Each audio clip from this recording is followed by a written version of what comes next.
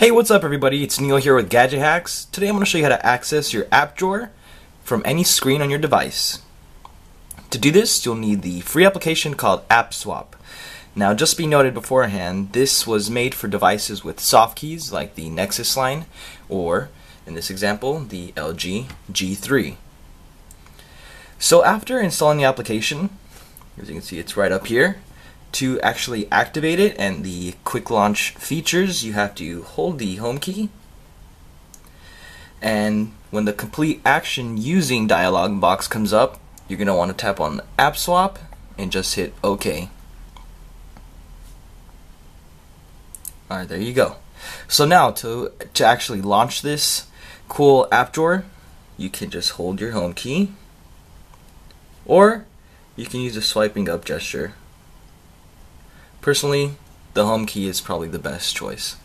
Now once you're actually in the app drawer, searching for your apps amongst all your apps is actually really easy. You can use the search bar up above, or there's a cool little feature I like that separates the apps based on their color.